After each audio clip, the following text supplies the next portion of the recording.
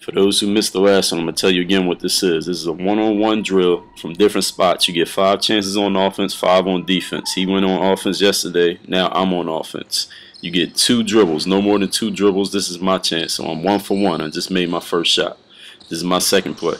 Notice how I'm keeping the ball away from him on my hit, either high or low. I'm never swinging the ball right across the middle because that's where the steals happen. You see how I'm keeping my elbows protecting the ball. Third shot is off, so now I'm one for three. Now you see how I'm attack his outside foot, get a quick step back, he gets a good challenge, I knock it down. So I'm two for four. And on his turn, he made two, so we're tied right now.